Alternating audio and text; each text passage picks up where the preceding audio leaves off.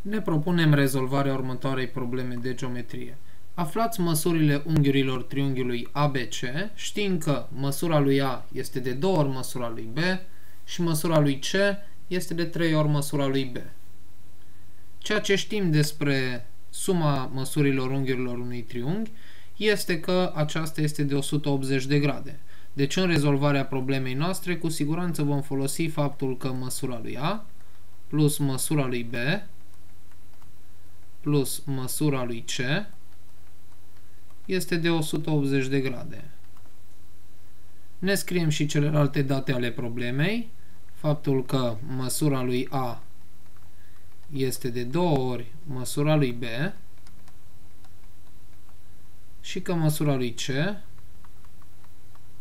este de 3 ori măsura lui B. Astfel, putem înlocui în suma noastră măsura lui A plus măsura lui B plus măsura lui C egal 180 de grade. Putem înlocui măsura lui A cu de două ori măsura lui B și măsura lui C cu de 3 ori măsura lui B. Ceea ce vom obține este măsura lui A, adică 2 ori măsura lui B, plus, avem în continuare măsura lui B, plus măsura lui C, care este de 3 ori măsura lui B, egal 180 de grade. De 2 ori măsura lui B plus măsura lui B plus de 3 ori măsura lui B înseamnă de 6 ori măsura lui B egal 180 de grade de unde rezultă că măsura lui B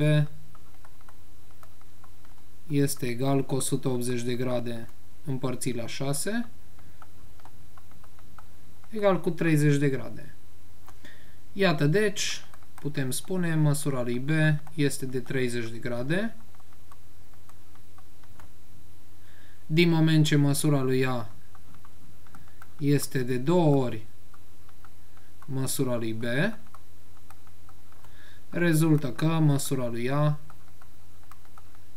este 2 ori 30 de grade egal cu 60 de grade. Măsura lui C este de 3 ori măsura unghiului B. Rezultă că măsura lui C este 3 ori 30 de grade egal cu 90 de grade. Avem deci măsurile celor trei unghiuri, măsura unghiului B de 30 de grade, măsura unghiului A de 60 de grade, măsura unghiului C de 90 de grade.